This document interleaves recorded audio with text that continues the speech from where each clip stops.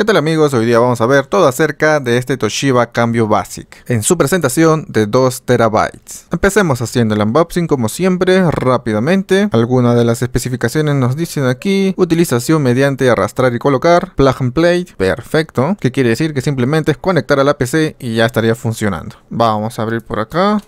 Perfecto. Mientras voy sacando, les voy comentando que es compatible con Windows 10 8.1 en el formato NTFS. En la web nos menciona que también es compatible con Windows 8 y el 7, pero en la caja solamente mencionan al 10 y el 8.1, ¿eh? así que habría que probarlo. Y para los que tienen Mac OS, es compatible con la versión 10.15, 10.14 y 10.13 en su versión de formato HFS y para el cual ahí sí necesita ser este formato para Windows no. Por aquí nuestro cable, vamos a sacarlo, de USB 3.0, como ven ahí el color azul. También es compatible con 2.0. Y por el otro extremo que va colocado al disco duro externo, es una entrada USB micro B. Sacamos y tenemos aquí al anfitrión. A ver, muy bien. Y aquí está, muy pequeño, ¿eh? Muy liviano. No va a haber problema con eso. Ya no hay nada más. Dejamos aquí la caja.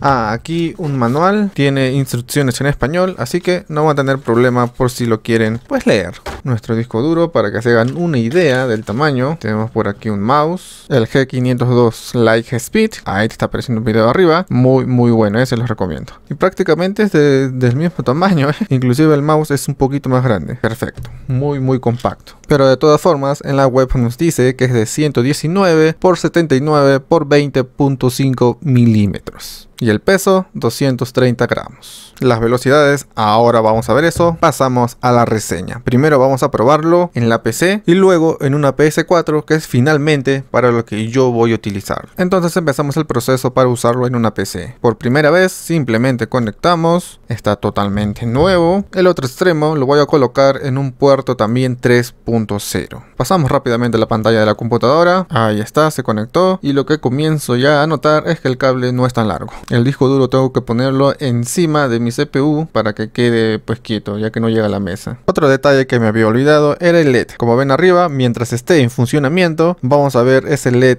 azul. Cierro esto que es de mi antivirus, no tiene nada que ver. Vámonos a los documentos. Y listo, como bien saben, nunca es exacto. Ya sea en una micro SD, en un pendrive, siempre hay una reducción. En este caso, 1.81 terabytes. Entramos aquí, siempre hay un archivo PDF, lo pueden borrar no hay problema y ya está. Y ahora literalmente es plug and play como dijeron. Lo conecté, ya está en funcionamiento, ya podemos pasar archivos, películas, fotos, juegos, el documento que ustedes quieran guardar. Vamos a hacer una prueba a ver la velocidad. Por aquí tengo un juego que es el Crash Bandicoot 4, 23.2 GB como ven. Vamos a darle en copiar y pegar. Más detalles y aquí podemos ver la velocidad. Llega a 135, baja hasta 160, 50, uff, aquí un bajón. Claro, ya que son muchos archivos por supuesto, por eso hay las bajas, pero si es un solo archivo como por ejemplo las películas, ¿verdad? Que pesan muchísimo ahora, pues como ven, hasta 136 estoy viendo el máximo, ¿eh? Está muy bueno. Hasta 137, 138, ok.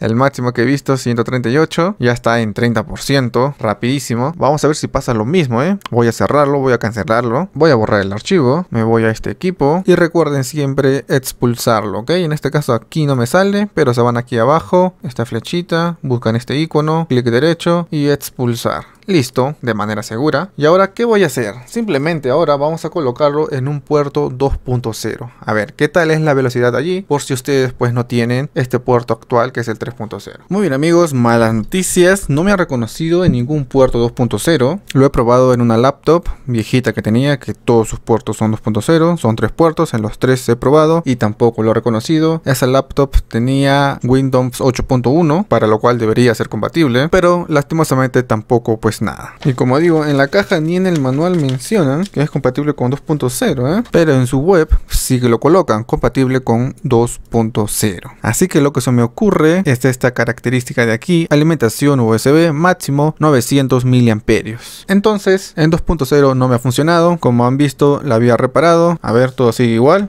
Vamos a ver, voy a pegar aquí el mismo juego. Muy bien, está copiando. Obviamente ya está en el puerto 3.0. Sí, está normal. Entonces, una vez aclarado ese tema, vamos a ver cómo va y es para lo que quiero usarlo en una PS4. Vamos para allá. Antes de pasar a la PS4, no quería dejarles con la duda que si funciona entonces en un celular. Y pues en este caso, como ven, lo ha reconocido. Unidad USB de Toshiba, puedo entrar ahí y ya estoy en las carpetas y puedo ver los archivos que tengamos en este disco duro. Así que en el celular está con normalidad. También me entró la duda y dije en un Smart entonces funcionará. Tengo un Smart LG de hace muchos años y en todos sus puertos USB funciona con normalidad. Así que yo creo que tiene que ver con la energía que se da en mi computadora a través de los puertos 2.0 por lo menos ya puedo despejar la duda que en un Smart funciona normal y en un celular pues también. Ah, y obviamente para que funcione en el celular pues tiene que tener un adaptador OTG. Muy bien amigos, ahora sí pasamos a lo que es usar este disco duro externo en una PS4. ¿Qué hacemos? Pues simplemente colocarlo en una de las entradas. Ya saben que las PS4 pues tienen sus dos puertos USB 3.1, así que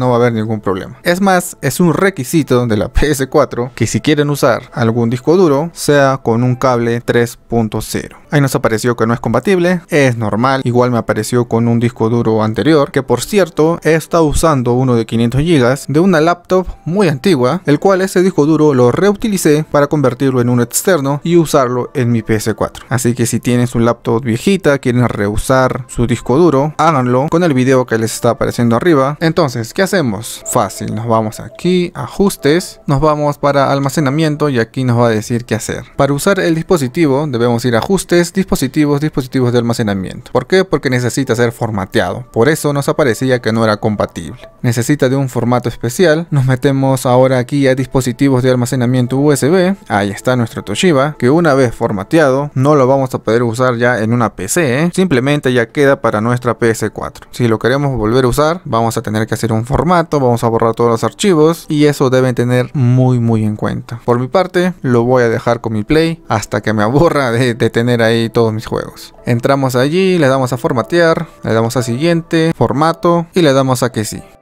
Muy bien, nos dice que este dispositivo ya está formateado correctamente y que todas las aplicaciones ahora se van a instalar por defecto en el almacenamiento ampliado que es nuestro disco duro externo. Damos a aceptar Retrocedemos, retrocedemos y vamos a comprobar. A ver, almacenamiento 1.84 terabytes, que corresponde pues a los 2 terabytes, obviamente. Retrocedemos, vamos a hacer una pequeña prueba. A ver, nos vamos aquí a la biblioteca, vamos a instalar un juego y voy a instalar este de aquí que es muy pesado. Le doy en descargar, retrocedemos y vamos a comprobar. Nos vamos a notificaciones, nos vamos a descargas y como ven clarísimo a la derecha nos aparece almacenamiento ampliado. Eso quiere decir que está todo bien, lo está descargando en el disco duro externo. Y lo que muchos se van a preguntar, ¿podemos dejar el disco duro ahí conectado siempre? Por supuesto, pueden dejarlo conectado siempre. Eso sí, si quieren expulsarlo, porque se lo van a llevar pues a otro lado, qué sé yo, lo quieren guardar, ¿a dónde se van a ir? Aprietan el botón de PS, aquí nos vamos a sonido y dispositivos, bajamos y para expulsarlo vamos aquí dejar de usar el almacenamiento ampliado y recién podemos desconectar nuestro disco duro externo de la PS4. Mientras tanto, si lo vamos a dejar ahí siempre, ustedes pueden apagar con normalidad su play sin desconectar nada, ok, lo apagan normal, lo enciende normal, el disco duro va a funcionar con total normalidad.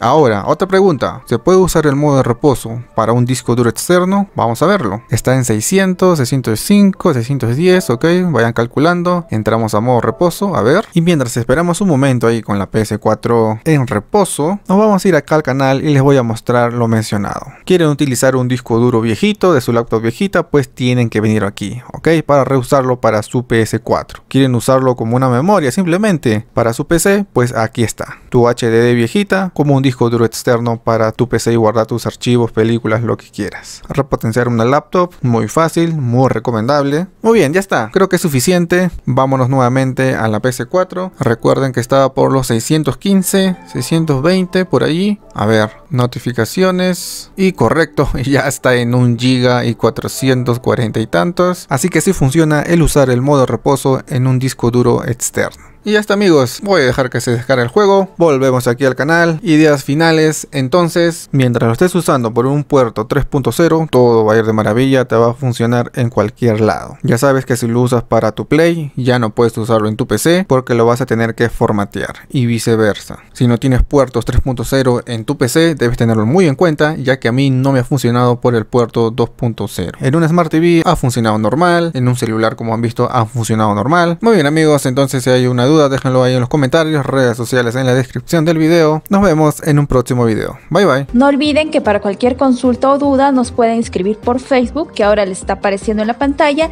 y también pueden seguirnos a través de nuestra red social Instagram. Recuerden suscribirse a nuestro canal, activar la campanita para que le lleguen las notificaciones y darle like al video.